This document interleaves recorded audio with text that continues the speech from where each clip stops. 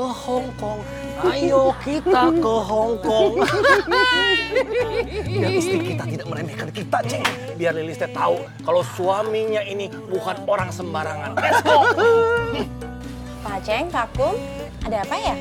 Pak Kum, Pak Ceng, Bu Dokter, saya permisi dulu ya. Bu Guru Yola memang mempesona ya, Kumnya.